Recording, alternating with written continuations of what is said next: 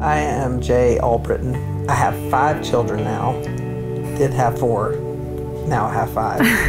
Harris is 16, Anna Claire is about to be 15, Seth is 12, and Joel is 10, and Adeline is nine days old right now.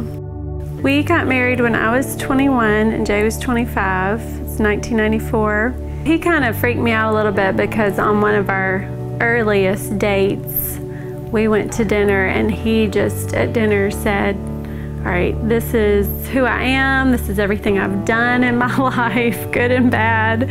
Um, I think you're the kind of person I would like to marry. You know, blah, there you go. In retrospect, I'm really grateful for that because there was no wondering, you know, like, does he like me, you know, or any of that. But yeah, we were kind of at different places, so it took me a little longer. And I think part of it scared me too because I had that sense of he, you know, is probably the one. And when you're 19, you're like, yikes.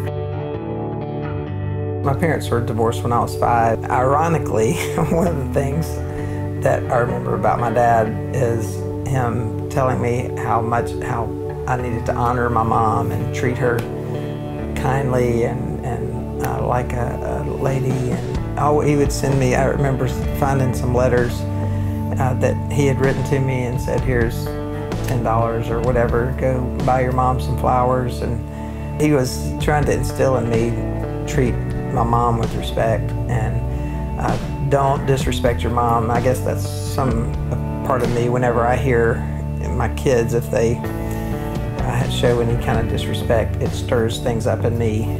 Well, and that was actually one of the things when I first met Jay that stood out to me because my parents had always said, you know, watch how a guy treats his mom, watch his relationship with his mom, because that a lot of times will tell you a lot about how he's going to treat his wife. And I mean, the first, one of the first dates we went on, and hearing him talk about his mom, there was so much admiration and, you know, love for her in his voice. And he even made the comment at one point that I reminded him of his mom, you know, in some ways. And so that really stood out to me.